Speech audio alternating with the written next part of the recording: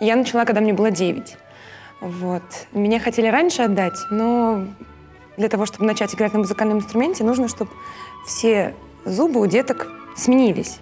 Вот. А я, так сказать, не вышла, вот, и поэтому получилось только в 9 начать. Для начинающих флейтистов обычно хорошие флейты не предусмотрены, это просто не нужно. Для того, чтобы научиться играть на флейте, можно самую простую, просто чтобы освоить э, технологию. Вот. И у меня была какая-то хорошая флейта, я уже не помню.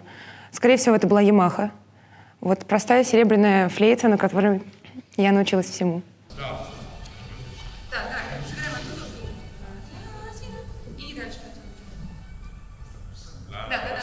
Ага, 150, 1, 2, 3, 153.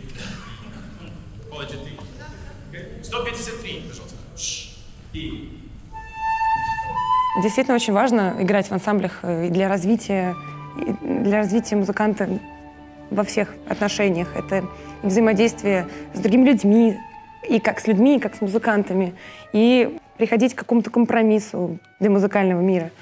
Конкретно для меня творить музыку, особенно красивую музыку, вместе и проживать конкретно эти моменты на сцене с кем-то еще, это даже может быть для меня намного приятнее, чем выйти сольно сыграть. Понятное дело, тут на меня все внимание, но поэтому я и очень люблю играть в оркестре, что ты становишься...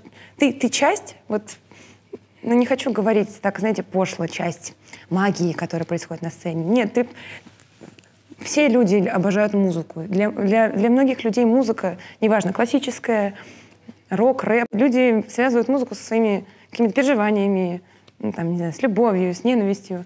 Вот. И то же самое для нас на сцене. Мы выходим, не, не то, что мы там играем, просто вот мы играем классическую музыку. Нет.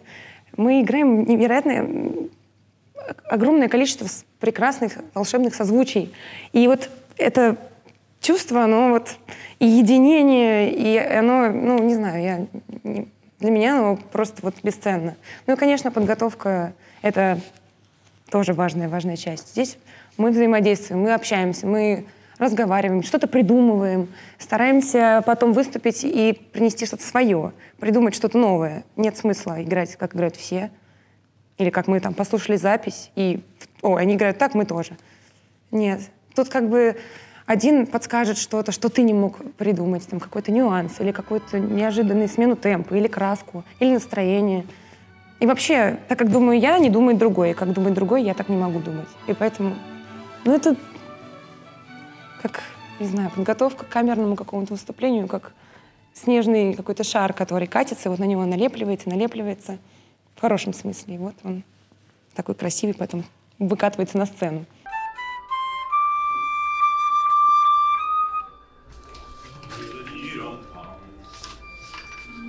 боюсь. Пойдем? Пойдем. Да. Не готова.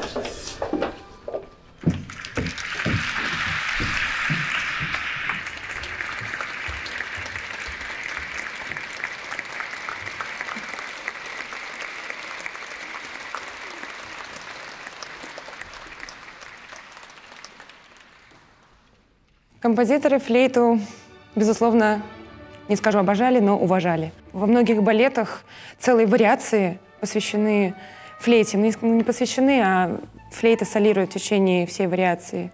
Во всех операх, безусловно, очень много флейты. Везде вообще флейта — это самый высокий по тембру духовой инструмент. И нас всегда слышно. И, безусловно, естественно, пикало чуть больше. Я очень люблю оперы римского Корсакова. Вообще для меня это самые любимые оперы. И там соло-флейты на соло-флейты. И вот сейчас недавно даже играли «Снегурочку», там просто большие целые каденции, где играет только флейта, и там певица поет. Вот, я как-то не знаю. Мне очень близки русские все мотивы, напевы, настроения, вот эти вот все. Поэтому я люблю играть русские оперы, а там, я думаю, что если сравнивать с другими операми других композиторов, наибольшее количество соло для флейты, очень много. Вот. И часто в программках нас упоминают, что кто там солирует. Естественно, я очень люблю играть э, симфонические концерты с маэстро. Вот. И в симфониях Шостаковича Вообще Шостакович славился тем, что он очень, не знаю, любил, не любил духовые инструменты, но в каждой его симфонии обязательно каждый духовой инструмент по очереди просолирует большое какое-нибудь соло на, на страничку, на полторы, флейта, потом гобой. В, ну, не знаю, в любой симфонии взять пятую, девятую, седьмую. Вот, и это, конечно, всегда очень запоминающееся, потому что струнные сидят, играют пиццикаты, а ты играешь какую-то бесконечно нескончаемую мелодию. Первые гастроли 8 лет назад в Мариинском театре начались с шестой симфонии Шостаковича в Париже с огромным, огромным соло. Вот так я и здесь до сих пор.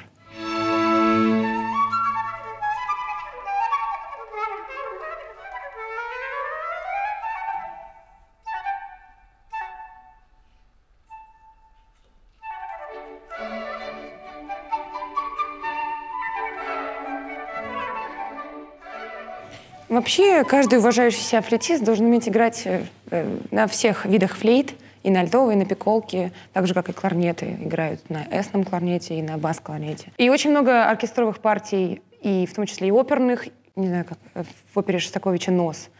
Ты, первая флейта должна играть на всех трех инструментах, сольно. Или как в «Кармен». Первая флейта берет пикколо, и вторая берет пикколо. А в это время третий флейтист просто сидит. Вот. То есть композиторы писали совмещенные партии, поэтому мы обязаны уметь играть на них. Сначала пикколо идет, потом обычная флейта, потом альтовая. У нас даже на э, кто-то будет играть на басовых флейтах. Привезут из Москвы ребята, классные флейтисты очень.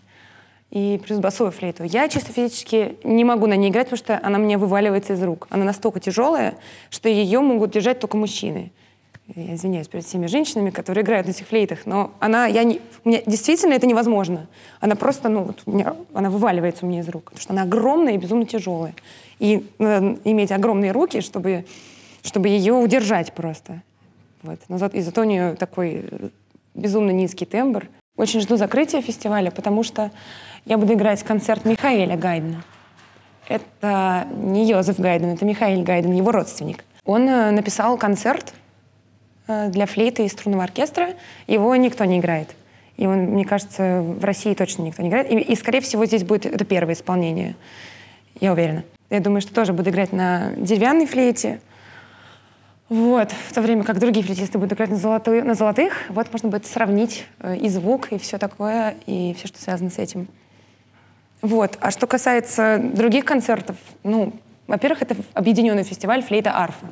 Так как у нас э, пандемия была, и вот мы решили не злоупотреблять и вообще ничем, и сделали совместный фестиваль. Вот. И будет много очень музыки для флейты и арфы вместе. Вот. И это все будет интересно, потому что люди, судя по статистике концертной, люди обожают арфу и обожают флейту. И мне кажется, когда это вместе, эти два инструмента, несколько концертов подряд, это будет точно успех.